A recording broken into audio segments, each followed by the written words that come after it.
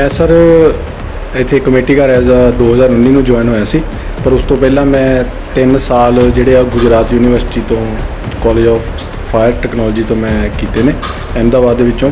ਉਹ ਤੋਂ ਮੈਂ 3 ਸਾਲ ਦੀ ਪੂਰੇ ਬੀਐਸਸੀ ਦੀ ਜਿਹੜੀ ਡਿਗਰੀ ਕੀਤੀ ਸੀ। ਉਸ ਤੋਂ ਬਾਅਦ 6 ਮਹੀਨੇ ਦੀ ਮੈਂ ਜਿਹੜੀ ਟ੍ਰੇਨਿੰਗ ਹੈ ਜੀ, ਉਹ ਲਾਈ ਸੀਗੀ ਮੁੰਬਈ ਇੰਟਰਨੈਸ਼ਨਲ 에ਅਰਪੋਰਟ ਤੋਂ, ਛਤਰਪਤੀ ਸ਼ਿਵਾਜੀ ਇੰਟਰਨੈਸ਼ਨਲ 에ਅਰਪੋਰਟ ਤੋਂ। 6 ਮਹੀਨੇ ਦੀ ਟ੍ਰੇਨਿੰਗ ਤੋਂ ਬਾਅਦ ਜਿਹੜੀਆਂ ਸਮਰ ਟ੍ਰੇਨਿੰਗ ਲੱਗਦੀਆਂ ਨੇ ਵੀਕਲੀ 21 ਡੇਜ਼ ਦੀਆਂ ਟ੍ਰੇਨਿੰਗ ਲੱਗਦੀ ਅਦਾਨੀ ਗਰੁੱਪਸ ਤੋਂ ਵੀ ਕੀਤੀ ਨੇ।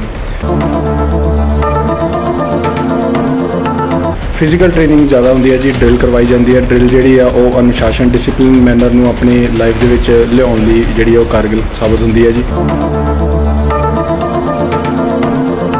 ਦੂਜੀ ਇਹ ਸੀ, ਪੌੜੀ ਦਾ ਇਸਤੇਮਾਲ ਸਰ ਮੇਨ ਯੂਜ਼ ਕੀਤਾ ਜਾਂਦਾ ਰੈਸਕਿਊ ਆਪਰੇਸ਼ਨ ਲਈ, ਕਿ ਕੋਈ ਅੰਦਰ ਬੰਦਾ ਫਸਿਆ ਉਹਨੂੰ ਕੱਢ ਕੇ ਲੈ ਕੇ ਆਉਣਾ ਉਹ ਇਦਾਂ ਦਾ ਕੋਈ ਮੌਕਾ ਹੁੰਦਾ ਆ ਉਸ ਵੇਲੇ ਜਿਹੜੇ ਲੋਕ ਆ ਮੋਬਾਈਲ ਤੇ ਸ਼ੂਟ ਕਰਨ ਤੇ ਲੱਗੇ ਹੁੰਦੇ ਆ। ਤੁਹਾਨੂੰ ਨਹੀਂ ਲੱਗਦਾ ਵੀ ਉਹਨਾਂ ਨੂੰ ਥੋੜੀ ਬਹੁਤੀ ਤੁਹਾਡੀ ਹੈਲਪ ਕਰਨੀ ਚਾਹੀਦੀ ਹੈ ਜੀ, ਬਿਲਕੁਲ ਸਰ। ਇਨੀਸ਼ੀਅਲ ਜਿਹੜੀ ਹੈਲਪ ਆਣਾ ਉਹ ਕਰ ਸਕਦੇ ਆ। ਇਹ ਨਹੀਂ ਕਹਿੰਦੇ ਕਿ ਉਹ ਅੰਦਰ ਨਹੀਂ ਹੈਲਪ ਕਰ ਸਕਦੇ। ਉਹ ਹੈਲਪ ਇਸ ਤੌਰ ਤੇ ਕਰ ਸਕਦੇ ਆ, ਜਿਵੇਂ ਕਿ ਟ੍ਰੈਫਿਕ ਨੂੰ ਵਧਣ ਤੋਂ ਰੋਕ ਸਕਦੇ ਆ ਜੀ, ਸਭ ਤੋਂ। ਆਵਾਜਾਈ ਲਈ ਰਸਤਾ ਬਣਵਾ ਕੇ ਦੇ ਰੱਖ ਸਕਦੇ ਆ। ਤੇ ਜਿਹੜਾ ਸ਼ੋਰ ਸ਼ਰਾਬਾ ਹੁੰਦਾ ਉਹ ਬਹੁਤ ਡਿਸਟਰੈਕਟ ਕਰਦਾ ਜੀ। ਫੋ ਸ਼ੋਰ ਸ਼ਰਾਬਾ ਡਿਸਟਰੈਕਟ ਇਵੇਂ ਕਰਦਾ ਜੀ ਕਿਉਂਕਿ ਹਰੇਕ ਦੀ ਵੱਖਰੀ ਵੱਖਰੀ ਸਲਾਹ ਹੁੰਦੀ ਆ। ਵੈਸੇ ਤਾਂ ਕਰਮਚਾਰੀਆਂ ਨੂੰ ਇਹ ਕਿਹਾ ਜਾਂਦਾ ਹੈ, ਜਿਹੜਾ ਉੱਥੇ ਮੌਜੂਦਾ ਇੰਚਾਰਜ ਆ ਉਹਦੀ ਗੱਲ ਸੁਣੋ, ਲੋਕਾਂ ਨੂੰ ਜਿਹੜੀ ਆ ਉਹ ਗੱਲਾਂ ਤੋਂ ਇਗਨੋਰ ਕਰੋ। ਇਗਨੋਰ ਕਰਨਾ ਬੈਟਰ ਰਹਿੰਦਾ ਹੈ ਕਿਉਂਕਿ ਲੋਕਾਂ ਨੇ ਜਿਹੜੀ ਸਲਾਹ ਦੇਣੀ ਹੈ, ਉਹ ਦੇਣੀ ਹੈ ਜੀ ਅਨਐਕਸਪੀਰੀਅੰਸ ਨਾਲ। ਜਿਹੜਾ ਫਾਇਰ ਬ੍ਰਿਗੇਡ ਦਾ ਇੰਚਾਰਜ ਹੁੰਦਾ ਹੈ, ਉਹਨੂੰ ਫਾਇਰ ਗੱਲਾਂ ਦਾ ਐਕਸਪੀਰੀਅੰਸ ਹੁੰਦਾ ਹੈ ਕਿ ਹਾਊਸ ਹੋਲਡ ਫਾਇਰ ਦੇ ਵਿੱਚ ਕੀ ਹੁੰਦਾ ਜੀ ਮੈਂ ਆਪਣੀ ਗੱਲ ਛੋਟੇ ਕੰਪਲੀਟ ਕਰੂੰਗਾ।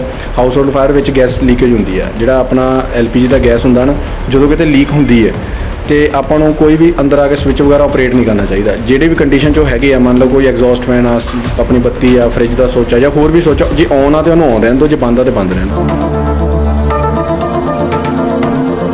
ਕੋਈ ਤੁਹਾਡਾ ਫੋਨ ਨੰਬਰ ਨਹੀਂ ਹੁੰਦਾ ਕਰੀ ਸਾਡੇ ਦਰਸ਼ਕਾਂ ਨੂੰ ਲਾਸਟ ਦੇ ਵਿੱਚ। ਫੋਨ ਨੰਬਰ ਆਪਾਂ ਜ਼ਰੂਰ ਦੱਸ। ਬਿਲਕੁਲ ਜੀ ਜਿਹੜਾ ਫਾਇਰ ਬ੍ਰਿਗੇਡ ਨਕੋਦਰ ਦਾ ਜਿਹੜਾ ਐਮਰਜੈਂਸੀ ਨੰਬਰ ਹੈਗਾ ਜੀ 01821 ਨਕੋਦਰ ਦਾ ਕੋਡ 221 101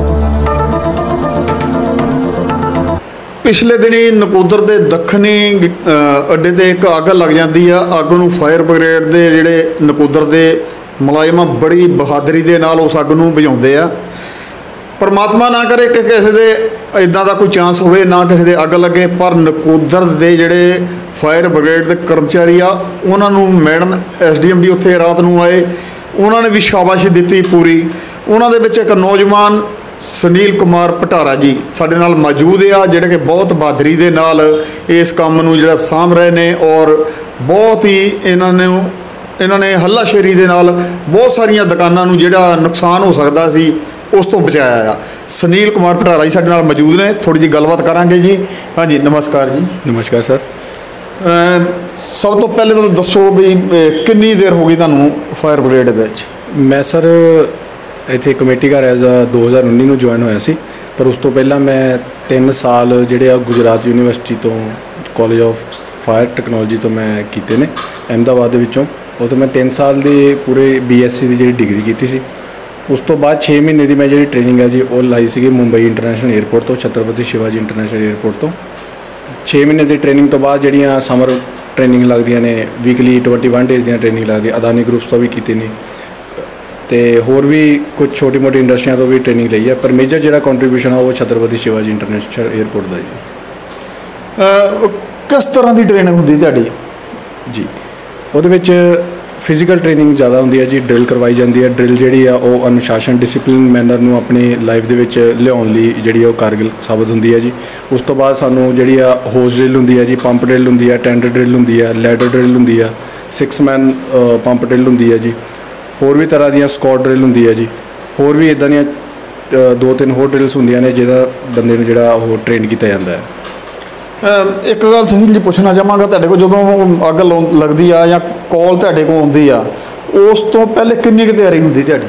ਜੀ, ਸਰ, ਜਿਵੇਂ ਕਿ ਸਾਨੂੰ ਕਾਲ ਆਉਂਦੀ ਆ, ਅਸੀਂ ਕਾਲ ਜਿਹੜਾ ਟੈਲੀਫੋਨ ਡਿਊਟੀ ਨਿਭਾ ਰਿਹਾ ਹੁੰਦਾ ਹੈ ਕਰਮਚਾਰੀ, ਉਹ ਪ੍ਰੋਪਰ ਸਭ ਤੋਂ ਪਹਿਲਾਂ ਕਾਲ ਚੱਕਦੇ ਹੋਏ ਪੁੱਛਦਾ ਹੈ, ਸਭ ਤੋਂ ਪਹਿਲਾਂ ਜਿਹੜਾ ਇੱਕ ਆਪਾਂ ਕਹਿ ਸਕਦੇ ਹਾਂ ਕਿ ਓਪਨਿੰਗ ਕਾਲ ਦੇ ਵਿੱਚ ਕਿਹਾ ਜਾਂਦਾ ਹੈ ਫਾਇਰ ਸਟੇਸ਼ਨ ਨਕੋਦਰ। ਉਸ ਤੋਂ ਬਾਅਦ ਉਹ ਸਾਹਮਣੇ ਵਾਲਾ ਜੋ ਆਪਣੀ ਡਿਟੇਲ ਦਿੰਦਾ ਹੈ, ਉਸ ਤੋਂ ਡਿਟੇਲ ਲਈ ਜਾਂਦੀ ਹੈ, ਅੱਗ ਕਿੱਥੇ ਲੱਗੀ ਹੈ। ਪ੍ਰੋਪਰ ਉਹਦੀ ਗਲੀ ਦਾ ਜਾਂ ਪਿੰਡ ਦਾ ਰੋਡ ਪ੍ਰੋਪਰ ਪੁੱਛਿਆ ਜਾਂਦਾ ਹੈ, ਪੂਰਾ ਤਹਿਸੀਲ ਪੁੱਛੀ ਜਾਂਦੀ ਹੈ ਪ੍ਰੋਪਰ ਚੰਗੀ ਤਰ੍ਹਾਂ ਨੰਬਰ ਔਨ ਕਾਲ ਇੱਕ ਵਾਰੀ ਦੁਬਾਰਾ ਸਿਰਫ ਕਰਨ ਲਈ ਕਿ ਟੈਲੀਗੀਤ ਕਰਨ ਲਈ ਲਿਖ ਲਿਆ ਜਾਂਦਾ ਹੈ ਤੇ ਉਹਨਾਂ ਨੂੰ ਪੁੱਛ ਲੈਂਦੇ ਅੱਗ ਕਿਸ ਚੀਜ਼ ਨੂੰ ਹੈ ਜੀ।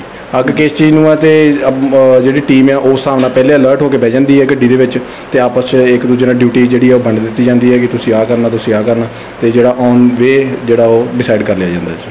ਅਹ ਕਿੰਨੇ ਬੰਦੇ ਹੁੰਦੇ ਜੀ ਗੱਡੀ ਦੇ ਵਿੱਚ? ਗੱਡੀ ਦੇ ਵਿੱਚ ਔਨ ਡਿਊਟੀ ਜਿਹੜੇ ਹੁੰਦੇ ਸਰ ਚਾਰ ਫਾਇਰਮੈਨ ਹੁੰਦੇ ਆ ਜੀ ਇੱਕ ਡਰਾਈਵਰ ਹੁੰਦਾ ਤੇ ਫਾਇਰ ਅਫਸਰ ਔਨ ਡਿਊਟੀ ਰਹਿੰਦੇ ਆ ਜੀ ਤੇ ਜਿਹੜੇ ਹੋਰ ਵੀ ਮੌਜੂਦ ਕਰਮਚਾਰੀ ਆ ਉਹ ਹੋ ਸਕਦੇ ਆ ਜੀ। ਗੱਡੀ ਦੇ ਵਿੱਚ ਜਦੋਂ ਬੈਠਦੇ ਜਦੋਂ ਜਾਂਦੇ ਆ ਕਿਤੇ ਤੁਸੀਂ ਅੱਗ ਬੁਝਾਉਣ ਲਈ ਜਾਂਦੇ ਆ ਉਸ ਵੇਲੇ ਤੁਹਾਡੇ ਕੋਲ ਕਿਸ ਤਰ੍ਹਾਂ ਦੇ ਕੱਪੜੇ, ਕਿਸ ਤਰ੍ਹਾਂ ਹੁੰਦੇ ਆ ਜਾਂ ਹੋਰ ਕੀ ਕੀ ਤੁਹਾਡੇ ਕੋਲ ਸਮਾਨ ਹੁੰਦਾ ਉਸ ਜੀ, ਸਾਡੇ ਕੋਲ ਸਰ ਇੱਕ ਫਾਇਰ ਐਂਟਰੀ ਸੂਟ ਹੁੰਦਾ ਜੀ, ਜਿਹੜਾ ਆਪਾਂ ਜਿਹਨੂੰ ਕਹਿੰਦੇ ਨੇ, ਡਾਂਗਰੀ ਵੀ ਕਹਿ ਦਿੰਦੇ ਆ ਜੀ, ਤੇ ਗਮਬੂਟਸ ਹੁੰਦੇ ਆ ਸੇਫਟੀ ਹੈਲਮਟ ਹੁੰਦਾ ਹੈ। ਹੋਰ ਵੀ ਬਹੁਤ ਤਰ੍ਹਾਂ ਦੇ ਸੇਫਟੀ ਇਕਵਿਪਮੈਂਟਸ ਦਿੱਤੇ ਜਾਂਦੇ ਜਿਵੇਂ ਕਿ ਸਾਨੂੰ ਕਾਟੇਜ ਵਾਲਾ ਮਾਸਕ ਦਿੱਤਾ ਜਾਂਦਾ ਹੈ। ਉਹ ਉਸ ਦੌਰਾਨ ਯੂਜ਼ ਕੀਤਾ ਜਾਂਦਾ ਹੈ, ਜਿੱਥੇ ਆਕਸੀਜਨ ਦੀ ਸਪਲਾਈ এনवायरमेंट ਦੇ ਵਿੱਚ ਉਪਲਬਧ ਹੈ, ਪਰ ਧੂਏ ਦੀ ਜਿਹੜੀ ਆ ਉਹ ਮਾਤਰਾ ਹੋਣ ਕਰਕੇ ਉਹ ਜਿਹੜਾ ਕਾਟੇਜ ਵਾਲਾ ਲਗਾਇਆ ਜਾਂਦਾ ਹੈ। ਤੇ ਜਿਵੇਂ ਕਿ ਬੇਸਮੈਂਟ ਹੋ ਗਈ ਤੇ ਹੋਰ ਵੀ ਅ, ਜਿਨ੍ਹਾਂ ਤੇ ਆਕਸੀਜਨ ਦੀ ਸਪਲਾਈ ਬਿਲਕੁਲ ਘੱਟ ਹੈ ਉੱਥੇ ਬੀਐਸਐਡ ਦਾ ਜਿਹੜਾ ਇਸਤੇਮਾਲ ਕੀਤਾ ਜਾਂਦਾ ਹੈ ਜੀ।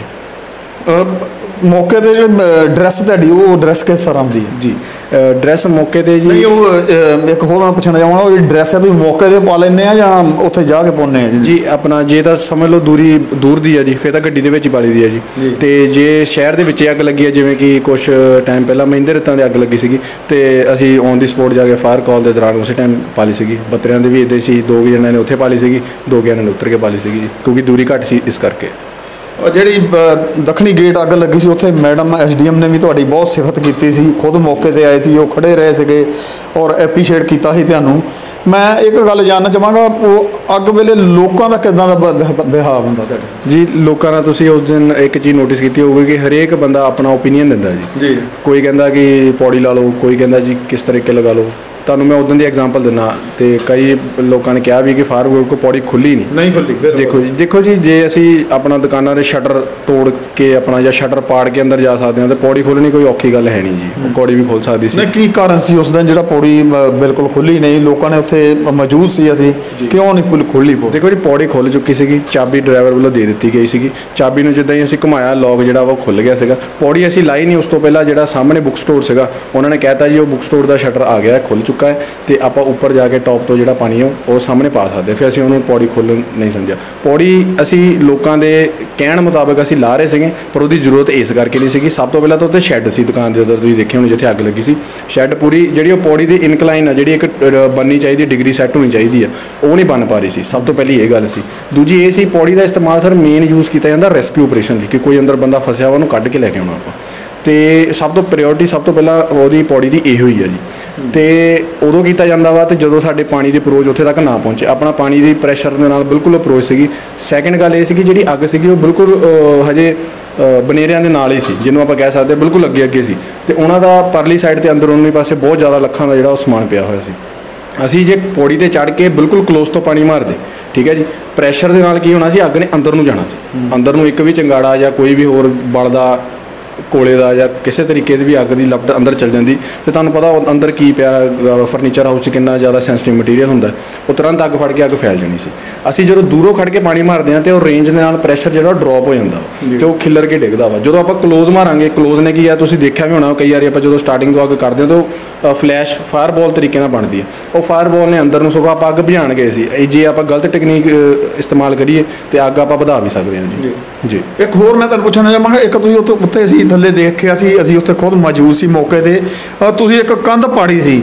ਉਹ ਜਿਹੜਾ ਕੰਧ ਨੂੰ ਅਹ, ਪਾੜਨ ਦਾ ਜਿਹੜਾ ਸਮਾਨ ਆ ਉਹ ਵੀ ਤੁਹਾਡੇ ਕੋਲ ਨਾਲ ਹੀ ਮੌਜੂਦ ਹੁੰਦਾ? ਜੀ ਸਾਡੇ ਕੋਲ ਸਲੈਜ ਹੈਮਰ ਹੁੰਦਾ ਹੈ ਜੀ ਪਿਕ ਹੈਡ ਹੁੰਦੀ ਹੈ ਜੀ ਸਿੰਗਲ ਹੈਡ ਹੁੰਦਾ ਵਾ ਸੱਬਲ ਹੁੰਦਾ ਜੀ ਹੋਰ ਸਾਡੇ ਕੋਲ ਰੈਸਕਿਊ ਕਿੱਟ ਪੂਰੀ ਹੁੰਦੀ ਹੈ ਬ੍ਰੇਕ ਦੇ ਤੇ ਜਿਹੜਾ ਸਮਾਨ ਆ ਸਰਕਾਰ ਵੱਲੋਂ ਸਾਨੂੰ ਜਿਹੜਾ ਉਹ ਪੂਰਾ ਦਿੱਤਾ ਜਾਂਦਾ ਜੀ ਉਹਦੀ ਮੇਨਟੇਨੈਂਸ ਵੀ ਰੱਖੀ ਜਾਂਦੀ ਹੈ ਜੇ ਕਿਤੇ ਟੁੱਟ ਭੰਨ ਹੁੰਦੀ ਹੈ ਤੇ ਆਪਣਾ ਫਾਇਰ ਅਫਸਰ ਜੀ ਜਿਹੜੀ ਆ ਰਿਪੋਰਟ ਈਓ ਸਾਹਿਬ ਨੂੰ ਦੇ ਕੇ ਉਹਨੂੰ ਰਿਪੇਅਰ ਵੀ ਕਰਵਾ ਲੈਂਦੇ ਆ ਜੀ ਤੇ ਇੱਕ ਨਿਊਜ਼ ਚੱਲੀ ਸੀ ਜੀ ਜਿੱਥੇ ਕਈ ਵਾਰੀ ਚਲੋ ਤੁਸੀਂ ਜਦੋਂ ਪਹੁੰਚਦੇ ਆ ਕਈ ਵਾਰੀ ਤਾਂ ਇਹ ਵੀ ਕਹਿ ਜਾਂਦਾ ਜੀ ਨਕੋਦਰ ਫਾਇਰ ਬ੍ਰਿਗੇਡ ਆ ਜਿਹੜੀ ਲੇਟ ਪਹੁੰਚੀ ਆ। ਇੱਕ ਨਕੋ ਮਹਿਤਪੁਰ ਖਬਰ ਚੱਲੀ ਸੀ। ਜੀ ਮਹਿਤਪੁਰ ਆਦਰਾਮਾਨ ਏਰੀਆ ਦੀ ਰਿਪੋਰਟ ਸੀਗੀ ਉਹ। ਸਰ ਲੇਟ ਪਹੁੰਚਣ ਦਾ ਕਾਰਨ ਪਤਾ ਕੀ ਸੀਗਾ ਜੀ ਟ੍ਰੈਫਿਕ ਤੁਸੀਂ ਦੇਖਿਆ ਹੋਣਾ ਵਾ ਜਿਹੜਾ ਆਪਣਾ ਰੇਲਵੇ ਰੋਡ ਦਾ ਏਰੀਆ ਹੈਗਾ ਵਾ, ਉਹ ਫਾਟਕ ਬੰਦ ਰਹਿੰਦਾ ਜੀ। ਫਾਟਕ ਬੰਦ ਸੀ ਤੇ ਇਸੇ ਤਰੀਕੇ ਇੱਕ ਤੁਹਾਨੂੰ ਮੈਂ ਇੱਕ ਅਗ- ਦੱਸਦਾ ਘਟਨਾ ਕੁਝ ਥੋੜੇ ਦਿਨ ਪੁਰਾਣੀ ਆ, ਆਪਣਾ ਇੱਥੇ ਲੱਗੀ ਸੀਗੀ ਆ ਜਿਹੜਾ ਬੁੱਢੀ ਪਿੰਡ ਆ ਜੀ ਕੋਲਡ ਸਟੋਰ ਉੱਥੇ ਕੋਲਡ ਸਟੋਰ ਸੌਰੀ ਜਿਹੜਾ ਸਟੋਰੇਜ ਆ ਕਣਕਾਂ ਦਾ, ਉੱਥੇ ਅੱਗ ਲੱਗੀ। ਫਾਟਕ ਅਸੀਂ ਉੱਥੇ ਵੀ ਖਲਾਇਆ, ਪਰ ਉਸ ਦੌਰਾਨ ਕੀ ਸੀ, ਗੱਡੀ ਸਾਡੀ ਬਿਲਕੁਲ ਅੱਗੇ ਲੱਗੀ ਹੋਈ ਸੀ ਫਾਟਕ ਤੇ। ਇਹ ਫਾਟਕ ਵਾਲੇ ਨੂੰ ਕਿਹਾ ਕਿ ਆਪਣਾ ਖੋਲਦੇ ਫਾਟਕ, ਸਿਰਫ ਸਾਡੀ ਗੱਡੀ ਨਿਕਲੇਗੀ, ਸਾਡੀ ਜ਼ਿੰਮੇਵਾਰੀ ਅਸੀਂ ਖੜੇ ਆ ਸਾਰੇ ਬੰਦੇ ਫਾਇਰਮੈਨ ਲਾਤੇ ਕਿ ਕੋਈ ਮੋਟਰਸਾਈਕਲ ਉਸ ਮੌਕੇ ਤੋਂ ਨਹੀਂ ਨਿਕਲੇਗਾ, ਅਗਲੇ ਫਾਇਰ ਬ੍ਰਿਗੇਡ ਨਿਕਲੇਗੀ। ਆਦਰਾਮਾਨ ਵੇਲੇ ਅੱਗ ਵੇਲੇ ਕੀ ਹੋਇਆ ਸੀ, ਜਿਹੜੀ ਫਾਇਰ ਬ੍ਰਿਗੇਡ ਦੀ ਗੱਡੀ ਖੜੀ ਸੀ ਨਾ ਸਰ, ਉਹ ਦਾਣਾ ਮੰਡੀ ਤੋਂ ਪਿੱਛੇ ਖੜੀ ਸੀ। ਬਿਲਕੁਲ ਅੱਗੇ ਬੱਸਾਂ ਹੀ ਬੱਸਾਂ, ਟਰੱਕਾਂ ਹੀ ਟਰੱਕਾਂ, ਇੱਕ ਸਾਈਡ ਬਿਲਕੁਲ ਪੱਟੀ ਹੋਈ ਆ ਤੇ ਤੁਸੀਂ ਦੱਸੋ, ਜਿੱਥੇ ਅਸੀਂ ਘੰਟਾ ਇੱਕ ਲੇਟ ਹੋ ਸਕਦੇ ਸੀ ਨਾ, ਅਸੀਂ ਸਿਰਫ ਵੱਧ ਤੋਂ ਜ਼ਿਆਦਾ ਤੋਂ ਜ਼ਿਆਦਾ, ਉਹਨੂੰ ਮੈਂ ਘੱਟ ਸਮਾਂ ਨਹੀਂ ਮੰਨਦਾ, ਪਰ ਫਿਰ ਵੀ ਜਿਹੜਾ ਇਹ ਘੰਟੇ ਨੂੰ ਜਿਹੜਾ 10 ਤੋਂ 15 ਮਿੰਟ ਦੀ ਦੂਰੀ ਵਿੱਚ ਬਦਲਿਆ, ਉਹ ਵੀ ਸਿਰਫ ਫਾਟਕ ਦਾ ਕਰਕੇ ਤੇ ਟ੍ਰੈਫਿਕ ਦਾ ਕਰਕੇ ਸਰ ਚਲੋ, ਇਹ ਤਾਂ ਹੋ ਗਈ ਉੱਥੇ ਦੀ ਗੱਲ। ਹੁਣ ਨਕੋਦਰ ਦੇ ਵਿੱਚ ਤਕਰੀਬਨ ਜਿੱਥੇ ਅੱਗ ਲੱਗੀ ਆ ਉਹ ਅੱਗ ਦੇ ਵਿੱਚ ਵੀ ਕਈ ਵਾਰੀਆਂ ਤਾਂ ਜਾਣਾ ਪੈਂਦਾ ਅੱਗ ਦੇ ਵਿੱਚ? ਜੀ ਬਿਲਕੁਲ ਸਰ। ਜਿੱਦਾਂ ਮੰਨ ਲਓ ਕਿ ਜਿਹੜੀਆਂ ਇਨਰ ਬਾਜ਼ਾਰ ਦੇ ਵਿੱਚ ਅੱਗਾਂ ਲੱਗਦੀਆਂ ਨੂਰਮਹਿਲ ਇੱਕ ਅੱਗ ਲੱਗੀ ਸੀ 2 ਸਾਲ ਪਹਿਲਾਂ ਲੋਹੀਆਂ ਅੱਗ ਲੱਗੀ ਸੀ ਬੇਸਮੈਂਟ ਦੇ ਵਿੱਚ। ਬੇਸਮੈਂਟ ਦੇ ਆਪਾਂ ਨੂੰ ਅੰਦਰ ਜਾਣਾ ਪੈਂਦਾ ਜੀ। ਕੋਈ ਅਟੈਕ ਹੁੰਦੇ ਆ ਜਿਹੜੇ ਆਪਾਂ ਬਾਹਰੋਂ ਨਹੀਂ ਕਰ ਸਕਦੇ। ਤੁਹਾਨੂੰ ਅੰਦਰ ਜਾਣਾ ਹੀ ਪੈਂਦਾ ਜੀ। ਜੇ ਬਾਹਰੋਂ ਖੜ ਕੇ ਤੁਸੀਂ ਵੇਟ ਕਰਦੇ ਰਹੋਗੇ ਕਰਦੇ ਰਹੋਗੇ ਅੱਗ ਨੇ ਫੈਲਦੇ ਰਹਿਣਾ ਤੇ ਇਸ ਤੁਸੀਂ ਟੈਕਨੀਕ ਤੁਸੀਂ ਉਦੋਂ ਵੀ ਦੇਖਿਆ ਹੋਊਗਾ ਕਿ ਪਾਣੀ ਅੱਗ ਨਹੀਂ ਬੁਝ ਰਹੀ ਸੀ। ਅਸੀਂ ਤਾਂ ਤਾਈਓ ਬਿਲਕੁਲ ক্লোਜ਼ ਅਟੈਕ ਕੀਤਾ ਜੀ, ਉਹ ਵੀ ਤਿਰਛੀ ਕੰਧ ਪਾੜ ਕੇ ਜੀ। ਨਹੀਂ ਜੀ ਇੱਕ ਹੋਰ ਲ- ਮੈਂ ਗੱਲ ਥੋੜੀ ਜਿਹੀ ਕਰ ਪੁੱਛਣਾ ਚਾਹਾਂਗਾ ਵੀ ਜਦੋਂ ਇਦਾਂ ਦਾ ਕੋਈ ਮੌਕਾ ਹੁੰਦਾ ਆ ਉਸ ਵੇਲੇ ਜਿਹੜੇ ਅਹ, ਲੋਕ ਆ ਮੋਬਾਈਲ ਤੇ ਸ਼ੂਟ ਕਰਨ ਤੇ ਲੱਗੇ ਹੁੰਦੇ ਆ ਤੁਹਾਨੂੰ ਨਹੀਂ ਲੱਗਦਾ ਵੀ ਉਹਨਾਂ ਨੂੰ ਥੋੜੀ ਬਹੁਤੀ ਤੁਹਾਡੀ ਹੈਲਪ ਕਰਨੀ ਚਾਹੀਦੀ ਹੈ ਜੀ ਬਿਲਕੁਲ ਸਰ। ਇਨੀਸ਼ੀਅਲ ਜਿਹੜੀ ਹੈਲਪ ਆ ਨਾ ਉਹ ਕਰ ਸਕਦੇ ਆ। ਇਹ ਨਹੀਂ ਕਹਿੰਦੇ ਕਿ ਉਹ ਅੰਦਰ ਨਹੀਂ ਹੈਲਪ ਕਰ ਸਕਦੇ ਉਹ ਹੈਲਪ ਇਸ ਤੌਰ ਤੇ ਕਰ ਸਕਦੇ ਆ ਜਿਵੇਂ ਕਿ ਟ੍ਰੈਫਿਕ ਨੂੰ ਵਧਣ ਤੋਂ ਰੋਕ ਸਕਦੇ ਆ ਜੀ ਸਭ ਤੋਂ ਆਵਾਜਾਈ ਲਈ ਰਸਤਾ ਬਣਵਾ ਕੇ ਦੇ ਰੱਖ ਸਕਦੇ ਆ। ਤੇ ਜਿਹੜਾ ਸ਼ੋਰ ਸ਼ਰਾਬਾ ਹੁੰਦਾ ਉਹ ਬਹੁਤ ਡਿਸਟਰੈਕਟ ਕਰਦਾ ਜੀ। ਫੋ ਸ਼ੋਰ ਸ਼ਰਾਬਾ ਡਿਸਟਰੈਕਟ ਇਵੇਂ ਕਰਦਾ ਜੀ ਕਿਉਂਕਿ ਹਰੇਕ ਦੀ ਵੱਖਰੀ ਵੱਖਰੀ ਸਲਾਹ ਹੁੰਦੀ ਆ। ਵੈਸੇ ਤਾਂ ਕਰਮਚਾਰੀਆਂ ਨੂੰ ਇਹ ਕਿਹਾ ਜਾਂਦਾ ਹੈ, ਜਿਹੜਾ ਉੱਥੇ ਮੌਜੂਦਾ ਇੰਚਾਰਜ ਆ, ਉਹਦੀ ਗੱਲ ਸੁਣੋ, ਲੋਕਾਂ ਨੂੰ ਜਿਹੜੀ ਆ, ਉਹ ਗੱਲਾਂ ਤੋਂ ਇਗਨੋਰ ਕਰੋ। ਇਗਨੋਰ ਕਰਨਾ ਬੈਟਰ ਰਹਿੰਦਾ ਹੈ ਕਿਉਂਕਿ ਲੋਕਾਂ ਨੇ ਜਿਹੜੀ ਸਲਾਹ ਦੇਣੀ ਹੈ, ਉਹ ਦੇਣੀ ਹੈ ਜੀ ਅਨਐਕਸਪੀਰੀਅੰਸ ਨਾਲ। ਜਿਹੜਾ ਫਾਇਰ ਬ੍ਰਿਗੇਡ ਦਾ ਇੰਚਾਰਜ ਹੁੰਦਾ ਹੈ ਉਹਨੂੰ ਫਾਇਰ ਗੱਲਾਂ ਦਾ ਐਕਸਪੀਰੀਅੰਸ ਹੁੰਦਾ ਹੈ। ਕਿਸੇ ਇੰਚਾਰਜ ਨੂੰ ਸਰ 300 ਗੱਲਾਂ ਦਾ ਹੁੰਦਾ ਕਿਸੇ ਨੂੰ 500 ਗੱਲਾਂ ਦਾ ਐਕਸਪੀਰੀਅੰਸ ਹੁੰਦਾ।